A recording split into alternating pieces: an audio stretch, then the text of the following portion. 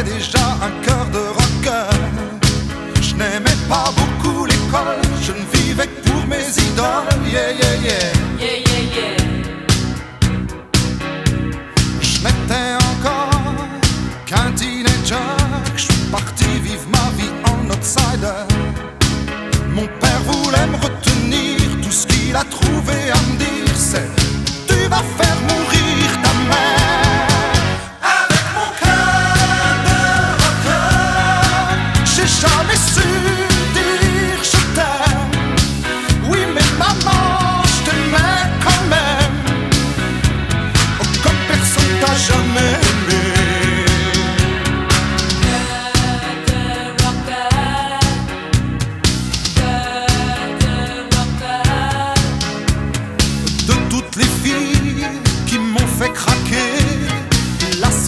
j'ai vraiment aimée, c'est celle qui m'a quitté.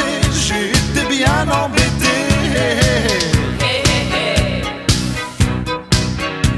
C'est vrai que j'étais